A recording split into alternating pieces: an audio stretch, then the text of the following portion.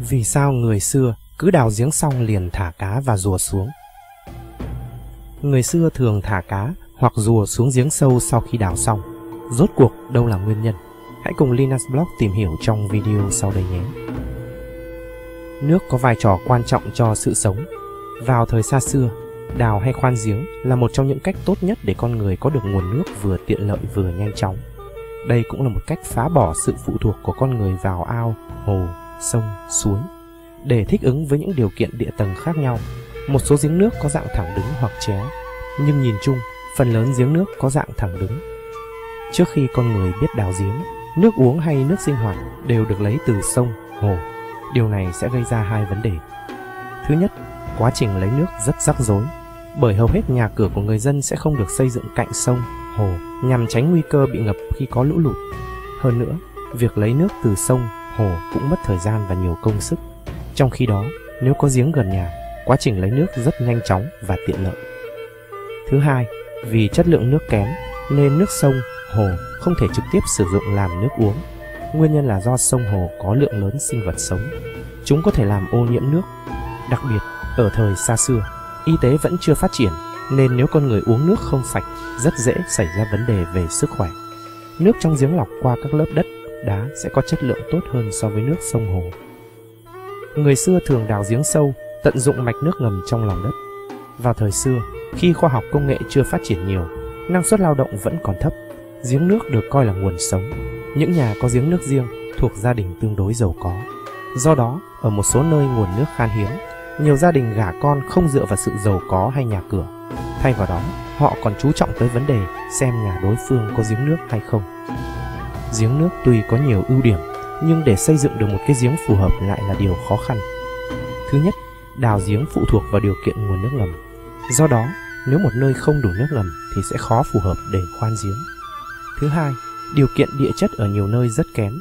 Chẳng hạn, một số khu vực thường xuyên xảy ra các thảm họa động đất thì rất khó để tiến hành đào giếng.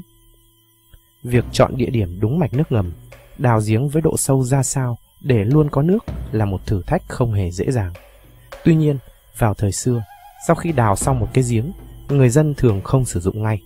Thay vào đó, họ sẽ thả một con cá hoặc con rùa vào giếng nước.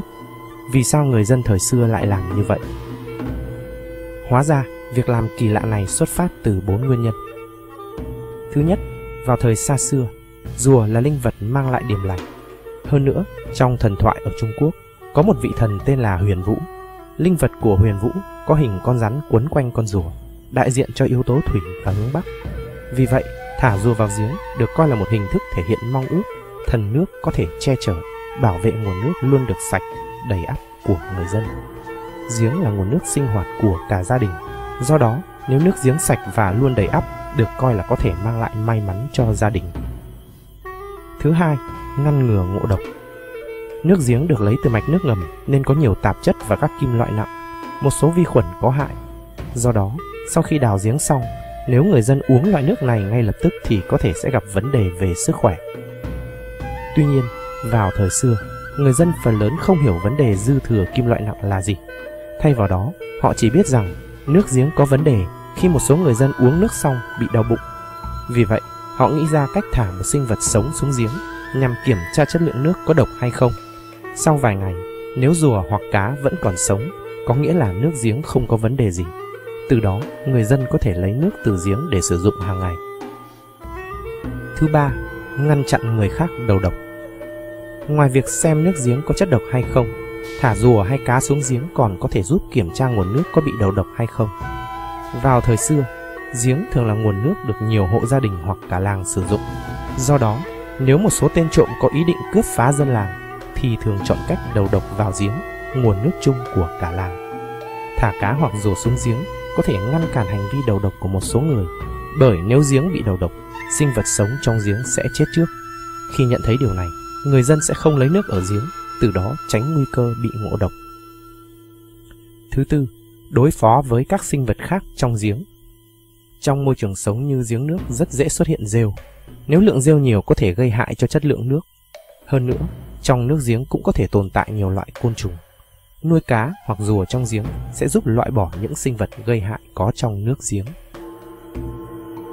Trên đây là những thông tin lý giải về việc tại sao người xưa sau khi đào giếng lại thả cá và rùa vào trong giếng. Nếu thấy video hữu ích, xin hãy like, share và đăng ký kênh để cùng chờ đón các video thú vị tiếp theo. Xin chào và hẹn gặp lại!